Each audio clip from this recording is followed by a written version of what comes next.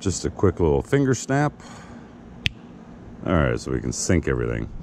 All right, I had a viewer that had made a comment on my previous uh, video about the Osmo Action, and it's crazy rock steady. So I'm going to do it in the same scenario that I did before. And what I did last time was I did that little roll axis where I was tilting it back and forth on the board. So I am just moving this back and forth, back and forth, back and forth.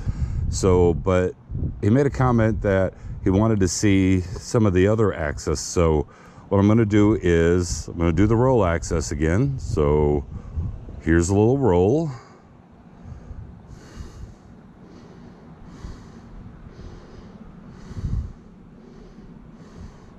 And that's pretty violent, if you ask me. And then I'm going to do a tilt.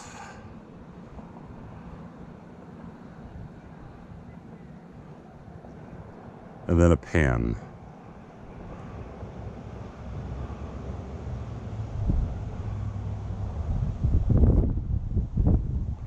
So once again, we're going to do roll. tilt.